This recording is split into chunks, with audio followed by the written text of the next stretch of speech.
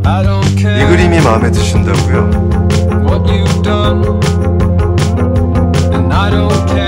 누구시죠? 정겨철입니다.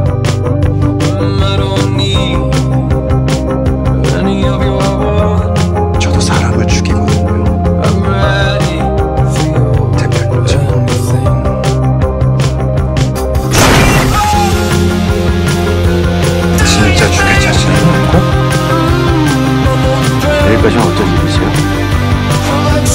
대표님 만나러 가죠.